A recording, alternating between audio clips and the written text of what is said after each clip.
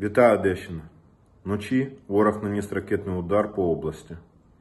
Пошкоджено сільське господарство, на щастя, людських жертв немає. Продовження історії про кришування мною контрабанди зброї додала ще контрабанда наркотиків. Гадав, що ця тема вичерпана, але ні. Здається, усі наркотики йдуть військово-політичному керівництву Росії, тому що вони продовжують розповсюджувати такі вкиди дуже сумнівного наповнення.